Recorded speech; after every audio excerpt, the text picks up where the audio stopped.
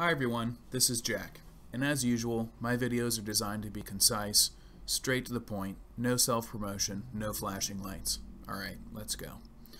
This is how to move money from one exchange, like GDAX, to another exchange, in this case, Binance.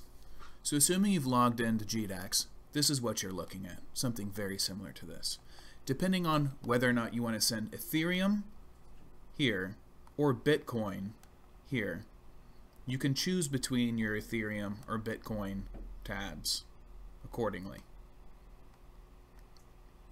In this case, this example, we'll just act like we're moving some Ethereum. So on the screen, you'll see a button that says Withdraw. So click that Withdraw button, and you'll be able to choose between a bank account, bank wire, a Coinbase account, or an Ethereum address. In this case, we're going to click Ethereum address. Once you've clicked Ethereum address, you can see you need a few pieces of information.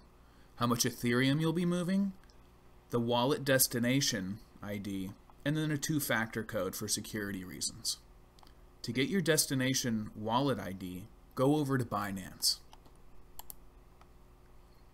So in Binance, in the Deposits Withdrawals tab, once you've logged in, Scroll down into the cryptocurrency you'd like to identify your wallet ID for. In this case, we want to make a deposit. So we would click this button right here, Deposit.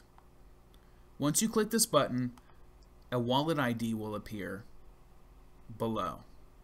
Copy that ID, go back to GDAX, and paste it into this destination box here. Make sure to enter how much Ethereum you want to move and then request a two-factor code which will be sent to your phone. I click get code and I've already received a text to my phone. Once you click here and type in that two-factor code, you have your destination pasted in from your Binance and the amount you want, click withdraw funds. Once you click withdraw funds, you should get an email indicating that a withdrawal request has been made. As soon as the withdrawal and deposit goes through, you'll also get an email, probably from Binance. Thank you very much for watching this video. If you enjoyed it, the best thing you can do is use my reference link below to join Binance. Thank you.